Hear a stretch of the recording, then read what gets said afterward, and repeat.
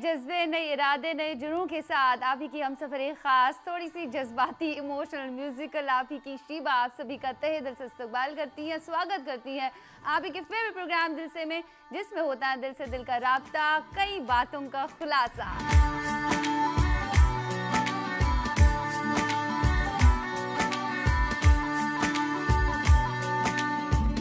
चलिए आज के मेहमान से आपको मिलवाते हैं। नहीं तारुफ कुछ अलग तरीके से देंगे हम। एक चुटकी सिंदूर की कीमत। तुम क्या जानो रमेश बाबू? नहीं नहीं अभी पूरा नहीं हुआ है थोड़ा और बाकी है।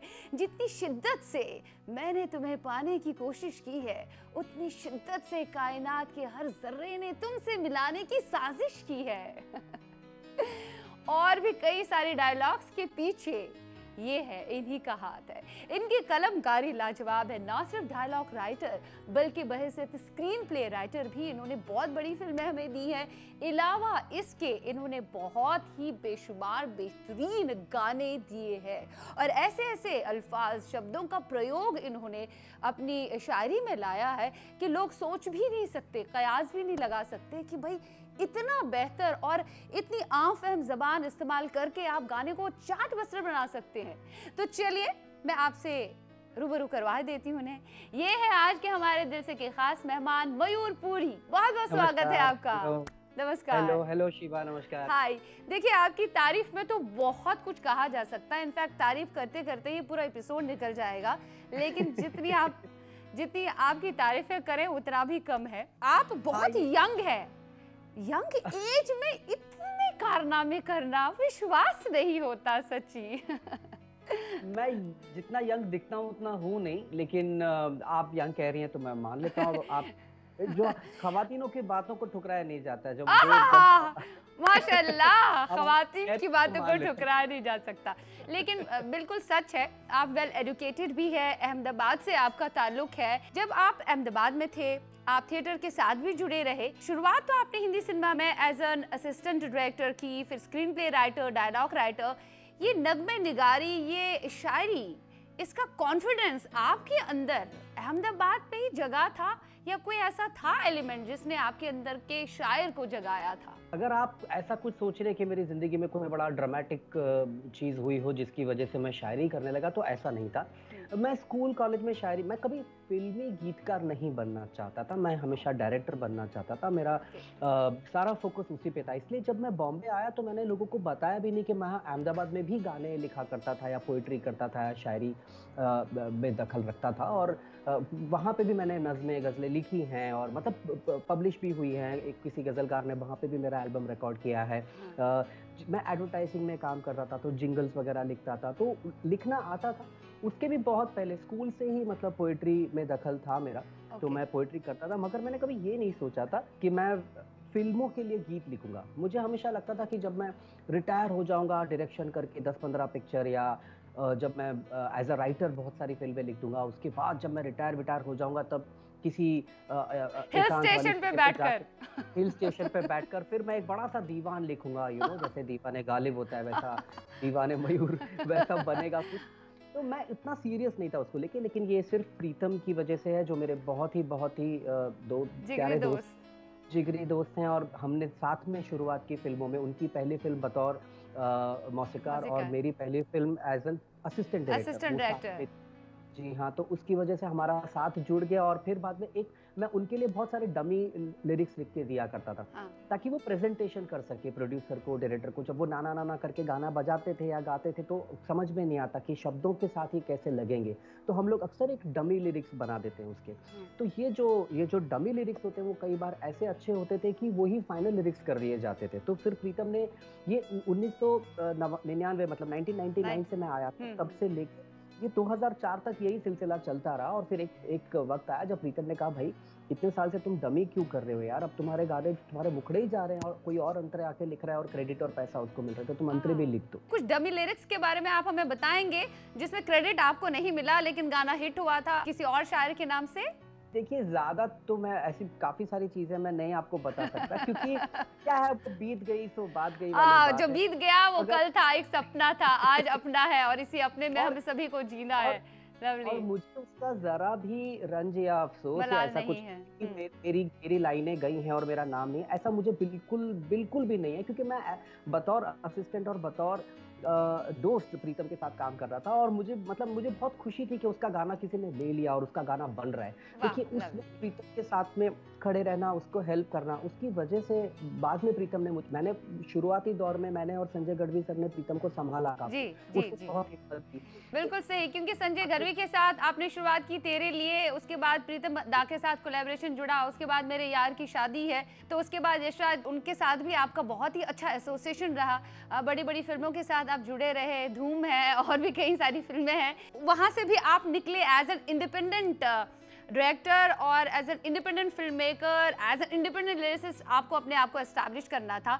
उस पर भी हमें बात करनी है लेकिन प्रीतम दा की आपने बात की। देखिए उनके साथ जितना हाँ। भी आपने काम किया बहुत ही बेहतरीन रहा है। आपका भीगी भीगी सी है रातें भीगी भीगी फ़िल्म का। बड़ी कमाल कहानी है। हाँ हाँ बताइए बताइए ज़रूर सुनना चाहेंगे। बुलाया गया। स्टूडियो प्रीतम ने एक दिन फ़ोन करके बोला मेरा दोस्त है अनुराग बासु और वो पिक्चर बना रहा है और तू मिलने के लिए आ जा। तो आ, मुझे खाली जब मैं जा रहा था रास्ते में तो मुझे सिर्फ़ इतना पता था कि फ़िल्म का नाम है गैंगस्टर। तो मैं ये सोच के गया था कि ये बड़ी ही खतरनाक मतलब जैसी राम गोपाल वर्मा की फ़िल्म होती है वैसा कुछ गैंगस्टर टाइप फ़िल्म होगी। हम्म। और जैसे ही मैं अनुराग को मिला तो पहली बात पहली बात ही उन्होंने बोला कि पिक्चर का नाम गैंगस्टर है लेकिन पिक्चर में ऐसा इट्स अ लव स्टोरी तो मैं खैर मैं जब गया तो मुझे ये लगा गैंगस्टर की बात कर रहे हैं कोई ये कोई पिक्चर के अंदर मुझे डिस्क्यों विस्क्यों टाइप का गाना होगा मज़ा नहीं आएगा। लेकिन जब उन्होंने मुझे धुन सुनाई और जब मुझे बोला ये गाना करना और रोमांटिक गाना है। तो मुझे बड़ा सुकून हुआ मुझे बड़ा अच्छा लगा मुझे लगा हाँ, अब एज ए लिरिसिस्ट मेरा काम निकल जाएगा. फिर तो उसके बाद there was no looking back खैर लेकिन जैसे आपने पहले ही कहा आपकी मंजिल दरअसल जो थी वो थी डायरेक्टर बनना। आपने शुरुआत की एज एन एसोसिएट डायरेक्टर फिर आप चीफ एसोसिएट डायरेक्टर बन गए। उसके बाद अब आप डायरेक्टोरियल डेब्यू भी कर रहे हैं, उस पर आपका काम हो रहा है। इनफैक्ट आपने फिर दास नाम से एक शॉर्ट फ़िल्म भी बनाई, जिसको कई सारे इंटरनेशनल अवार्ड से नवाजा गया है। बहुत ही बेहतरीन काम आपने उसमें किया है। मतलब आपकी मंजिल हम कहेंगे कि ये बीच में जो भी हुआ, ये तो होता गया बस। लेकिन आपकी हाँ। मंजिल दरअसल है एक फ़िल्म मेकर एक डायरेक्टर बनना ये हम कहेंगे। लेकिन बीच में जितना भी हुआ जितना भी तूफ़ान मच गया वो तो बस हुआ। देखिए अंग्रेज़ी में वो कहते हैं ना कि life is what happens to you while you are busy making other plans yes तो ये वैसी है कि मैं मैं डायरेक्टर बनना चाहता था मगर एक बात है कि वो मेरी मंजिल थी या है या जो भी है लेकिन मेरा मेरा मेरी जर्नी भी बहुत खूबसूरत रही है। हाँ। मेरा सफ़र भी बहुत अच्छा गया ऐसा नहीं है कि मुझे इस बात से कंप्लेन है या रंज है इस बात का कि मैं अभी अभी तक मेरी मेन स्ट्रीम कमर्शियल बड़ी फ़िल्म आई नहीं है। तो मुझे उसका कोई क्योंकि मैंने जितना भी लिखा है जितने लोगों के साथ काम किया है वो हाँ। बड़ा ए लेवल का बड़े अच्छे क्लास का और बड़े खुशी के साथ में किया है। You have to be very happy क्योंकि आपने इतना बेहतरीन काम दिया है मतलब बहुत ही खूबसूरत काम ये तो मैं कहूँगा कि अभी मेरी शुरुआत भी नहीं हुई है अभी तो ऐसा picture- बिल्कुल मत कहिए आपके गाने my god who can forget who can forget your dialogues and who can forget your lyrics और जैसे आपने रोमानियत की बात की रोमांटिक गाने तो आपने दिए ही है सिंग किंग का तेरी ओर तेरी ओर कैसे भुला सकते हैं हम? भीगी भीगे का तो हमने ज़िक्र ही किया और प्यार के साइड इफेक्ट्स का। Tell me is this love उसने भी धूम मचाई Yes. क्योंकि वो एक ऐसा दौर था जब इस तरह के लिरिक्स जिसमें इंग्लिश शब्दों का भी प्रयोग हो बहुत कम हुआ करता था। और आपने प्रीतम दा के साथ इस तरह के गीत दिए तो ये तो अपने आप में बहुत ही बड़ी बात है। लेकिन आपने इस जॉनर को आगे भी बढ़ाया। प्यार के साइड इफेक्ट्स की बात की तो मैं आपको बता दूँ प्यार के साइड इफेक्ट्स जो है ये मेरी पहली फ़िल्म थी जिसमें सारे गाने मेरे थे। मतलब कि पूरा एल्बम एज ए लिरिसिस्ट मुझे हाँ, दिया हाँ। गया था। तो ये ये थोड़ा आजकल तो होता भी नहीं बड़ा मुश्किल होता है। लेकिन बहुत बड़ी बात थी और बहुत विश्वास था प्रीतेश नदी कम्युनिकेशन का साकेत चौधरी उसके जो डायरेक्टर हैं उसका और प्रीतम का मुझ पे। और मेरे लिए वो फ़िल्म हमेशा बहुत खास रहेगी क्योंकि उस फ़िल्म की जो राइटर थी जो अब हमारे बीच में नहीं रही है वो मेरी बहुत खास दोस्त हुआ करती थी प्रतिभा आचार्य। तो हम प्यार से गुड्डन बुलाया करते थे उसे। और वो उस वक्त तो वो बड़ी खुश हुई थी कि अच्छा मेरे पिक्चर के गाने तू लिख रहा है क्या बात है यार शी वाज वेरी फनी और बहुत बहुत ही बहुत ही प्यार से मतलब सो उनके साथ उसके साथ में काम करना मतलब मुझे और कोई ब्रीफ मिले या ना मिले but I used to discuss with her तो ये जो बात है कि नहीं हमें यार गाना ऐसा होना चाहिए कि जो जो हम लोग बात करते हैं वैसा ही होना चाहिए। तो इसीलिए वो इंग्लिश आ गया उसमें कि tell me is this love या हाँ, अगर आप हाँ, उस लिरिक्स भी सुने तो अभी जान लूँ जरा मैं तुझे कर लूँ तेरा एक कर लूँ जरा इकरार भी छूके तुझे देखूँ जरा हो जाएगा फिर प्यार भी। ये इतनी मॉडर्न बात है जो हिंदी फ़िल्म की किसी हीरोइन ने पहले नहीं कही है। तो ये क्योंकि मेरी ज़िंदगी में ऐसे दोस्त आए इतने प्यारे दोस्त थे जिनकी वजह से मैं जो जो बिल्कुल रियल हमारी फीलिंग थी और जैसे हमारे बातचीत हुआ करती थी हम वैसे ही उसको लिखने की कोशिश करते थे। मयूर जी हम अपनी गुफ्तगू को जरा सा विराम देते हैं। हमारी ये म्यूजिकल और इमोशनल बातें जारी रहेंगी लेकिन इस वक्त हमें लेना पड़ेगा छोटा सा ब्रेक हम आप सभी से मिलेंगे दिल से लाइव में इस छोटे से ब्रेक के पार।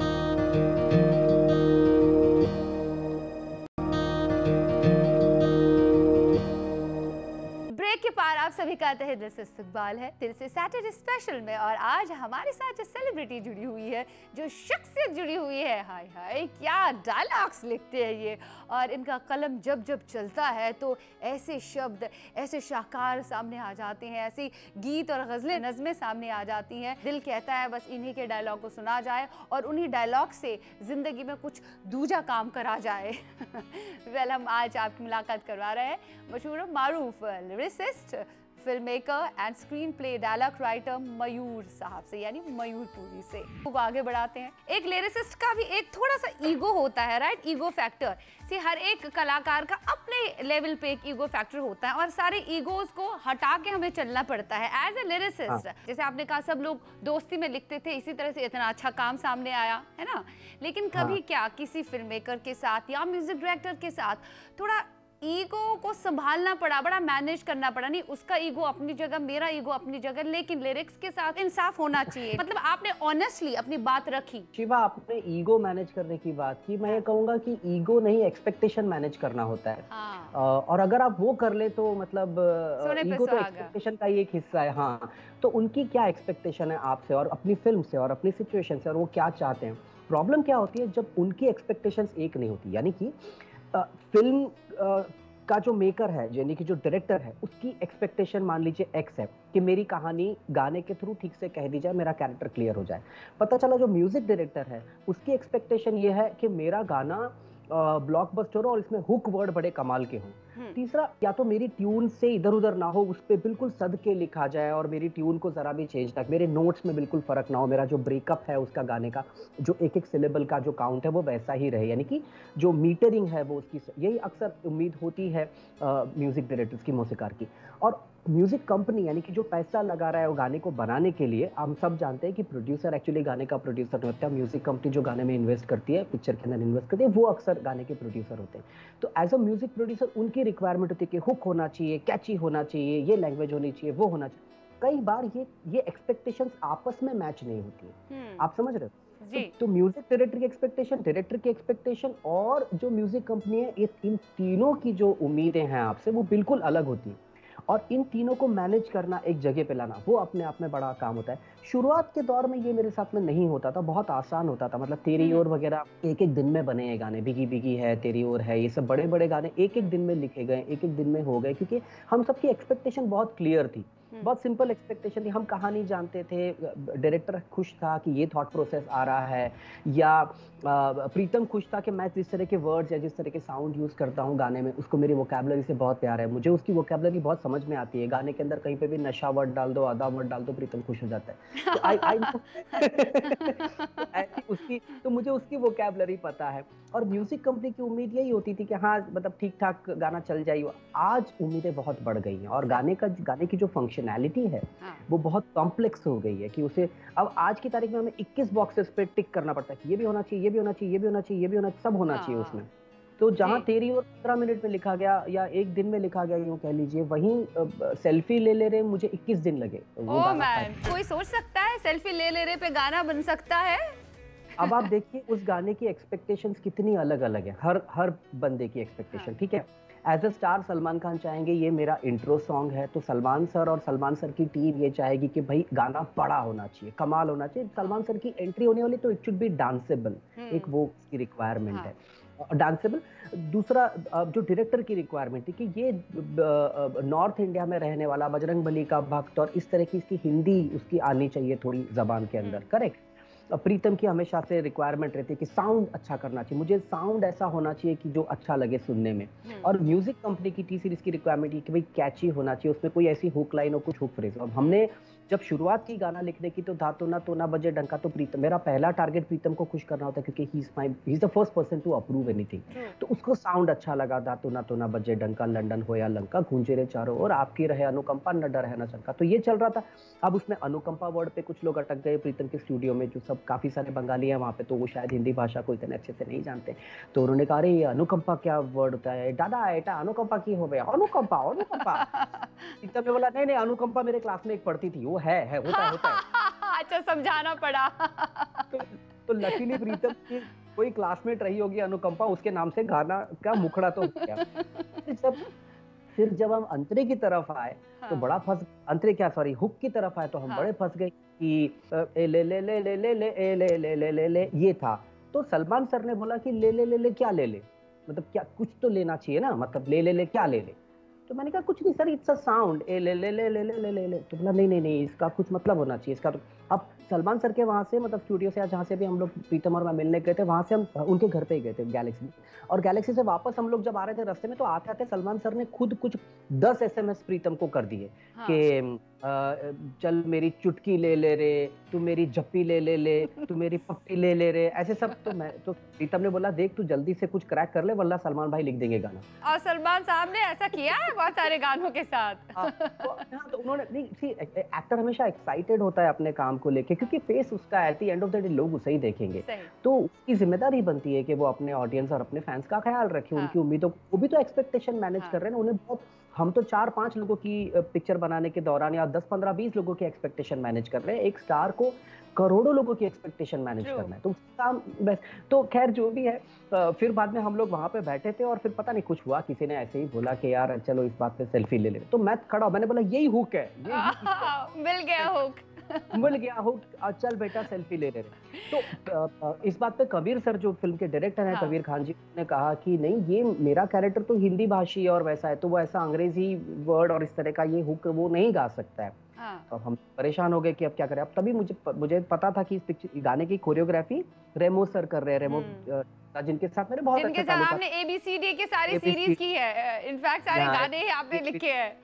जी उनकी पहली फ़िल्म हाँ। फालतू फालतू का स्क्रीन प्ले भी मेरा जी जी जी। तो तो उनके साथ में मेरा बहुत अच्छा रिलेशन है तो मैंने रेमो सर को फ़ोन किया मैंने कहा सर यार इसका कुछ तोड़ निकालो। वो बोल रहे मेरा कैरेक्टर ये गाना गा नहीं सकता है क्या आप ऐसा कर सकते हो कि पहली बार जब ये आए तो आपका कोई डांसर जो है वो ये लाइन गा दे। उसके बाद फिर सलमान सर का कैरेक्टर गा देगा। हाँ। तो बोला हाँ हाँ मैं कर सकता हूँ कोई प्रॉब्लम नहीं हम उस तरह की कोरियोग्राफी कर दूँगा कि ये लोग गाना कर रहे हैं और फिर एक डांसर आता है और वो सबसे पहले बोलता है चल बेटा सेल्फी ले ले रहे हम्म, तो ये करके हमने कबीर सर को कन्विंस किया। अब देखिए मैं आप ये थोड़ा लंबी डिस्कशन हो गई एक ही गाने को लेकिन ये ज़रूरी है कि अगर आप नए राइटर हैं अगर आप नए नए या किसी भी तरह के काम को आप शुरू करें तो आप देखिए आपको बहुत लोगों की एक्सपेक्टेशन को मैनेज करना होगा। हम्म, उसका मैनेजमेंट बहुत ज़रूरी है। देखिए एक, एक को ऐसे कन्विंस किया दूसरे को वैसे कन्विंस किया तीसरे को वैसे कन्विंस किया और उसके बावजूद जो आपको लिखना है। अब मैं बताता हूँ मुझे क्या पसंद है उस गाने में। हम्म, मुझे उस कहानी का प्रिमोनिशन पहले गाने में मुझे बताना है as a story teller because at the end of the day मैं मैं गीतकार से ज़्यादा राइटर है आप।